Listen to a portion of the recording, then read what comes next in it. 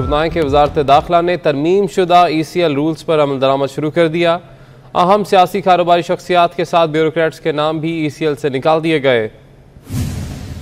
सबक वजी अजम नवाज़ शरीफ और वजी अजम पाकिस्तान। शहबाज शरीफ का नाम ई सी एल से निकाल दिया गया। मरीम नवाज़ का नाम भी ई सी एल से हटा दिया गया। शहबाज शरीफ के अहल खाना के नाम भी ई सी एल से खारिज कर दिए गए। सबक वजी अजम शाहिद खाकान अब्बासी और उनके साहबजादे अब्दुल्ला खाकान का नाम भी लिस्ट से खारिज कर दिया गया। वज़ीर ख़जाना मफ्ता इसमाइल का नाम भी मुस्तकिल तौर पर एग्ज़िट कंट्रोल लिस्ट से निकाल दिया गया।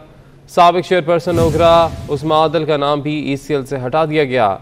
हाउसिंग सोसाइटीज़ और फ्रॉड के मुलजमान के नाम लिस्ट से नहीं निकाले जाएँगे।